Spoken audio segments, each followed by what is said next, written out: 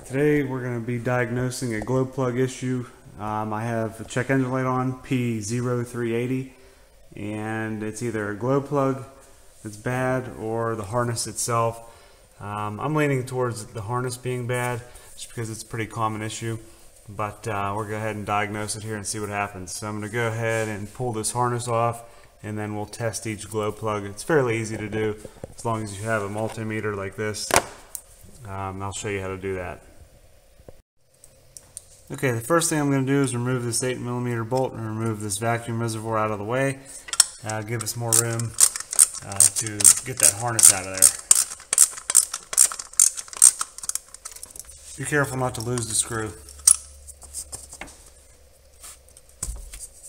Put that out of the way.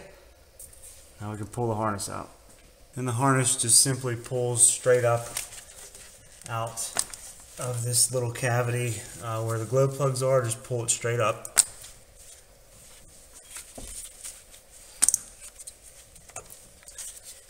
And there's a little plastic clip here holding this wire on for this uh, third injector.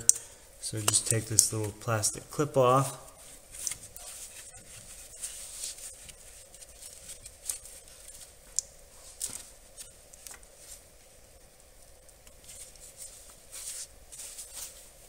Bring in closer here to show you. This is what I'm referring to. This here. So if we just pull this right out of there and now the harness is free and we can slide it out.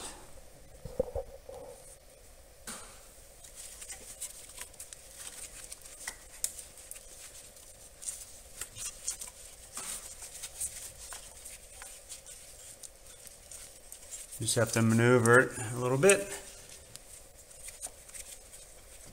Uh, these do these harnesses do get uh, brittle over time. If yours is falling apart, I'd replace it.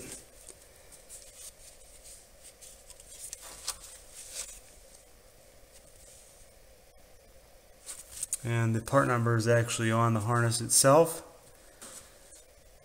That's 0289717666.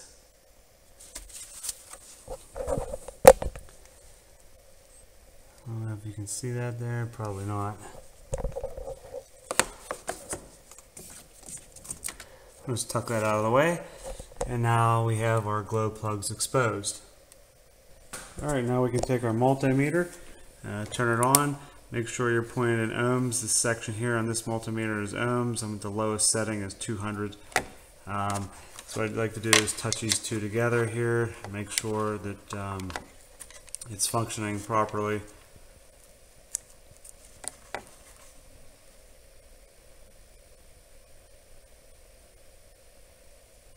Should be zero, but this thing isn't perfect. Okay, so what you need to do is touch one end to the glow plug and the other end to a uh, good ground area. I like to use this area. Just make sure it's you know somewhat clean, not like a dirty spot. So just hold this here with one hand and in the other hand uh, put your uh, probe there right on top of the glow plug itself. And these should all be around 1 ohms or 1 ohm uh, plus or minus um, 0.1, 0.2. It doesn't have to be perfect, but they should all be similar readings. If you get like a really, really high reading, then you got a bad glow plug. So we're going to go ahead and test each one.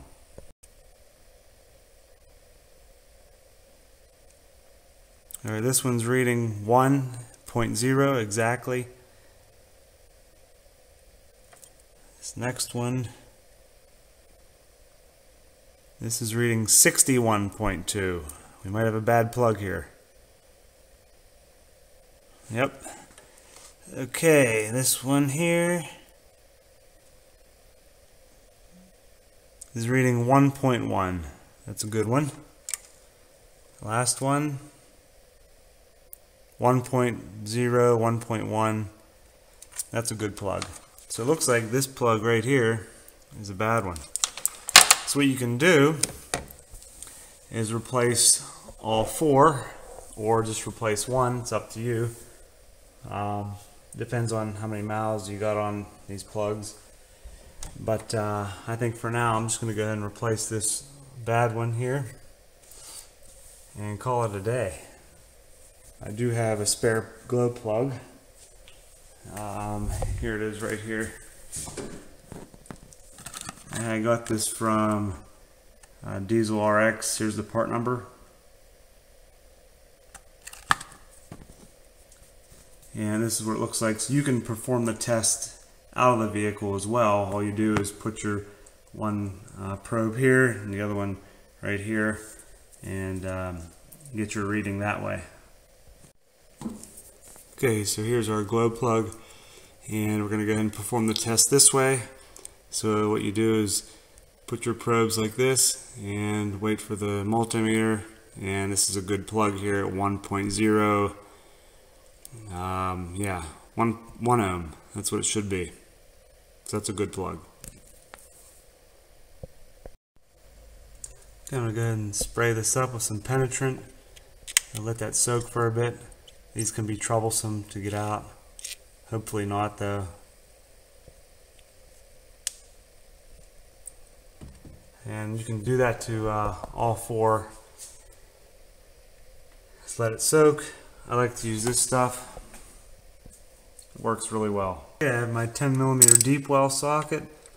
Fits right over top of that plug perfectly. And slowly try to loosen. There we go.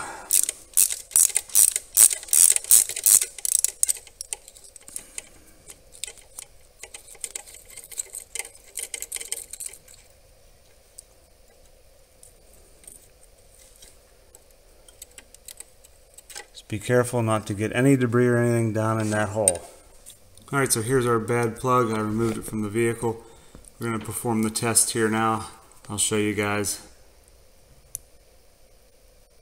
There we go. See our reading, 60.8. So this is a bad plug. Although it doesn't look bad, it is bad. Now I replaced these a few years back. It wasn't that long ago actually. I do have a video on this as well. Um, this is a Beru plug. It's made in Germany. And um, I forget how many miles I got out of these. But uh, yeah, so this is this is just a bad plug. Okay, we can take our new glow plug, or in this case, uh, used but good glow plug, and insert it back into the hole here. Just be careful.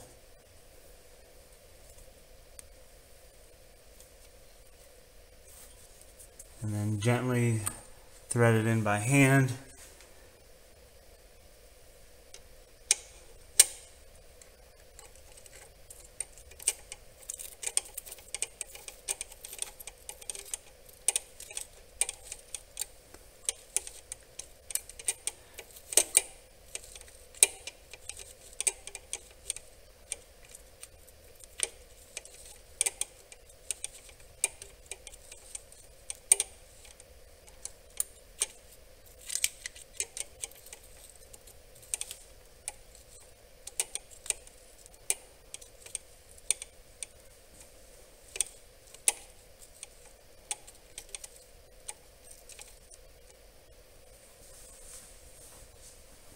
And these get torqued to 11 foot-pounds which is not much at all so just uh, don't overdo it guys. You don't want to strip these things.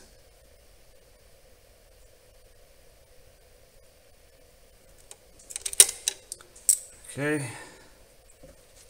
I forgot to mention I did apply a little bit of uh, anti-seize to the threads and I did that last time as well and it really really helps uh, with removal. Uh, so I highly recommend doing that. So that's good to go.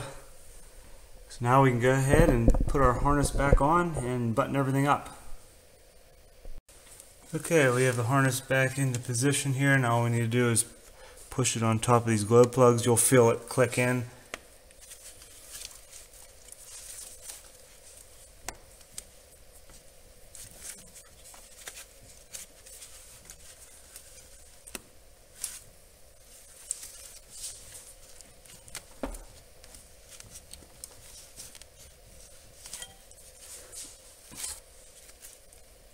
Okay, that's good. Now for this vacuum reservoir and the 8 millimeter bolt.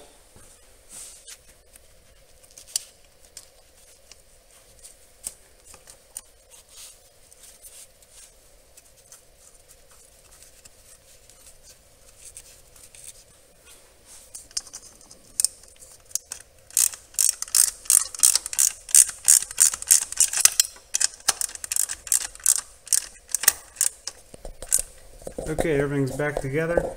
That completes that little project. I'm gonna go ahead and take it for a drive now and see if that check engine light uh, stays out. And if so, uh, problem solved. So I believe that was the fix. I'm really surprised it wasn't the harness itself, uh, but that one glow plug was bad. So I hope this helps you guys out. Thanks for watching. Uh, please subscribe, and I'll see you in the next one. Take care.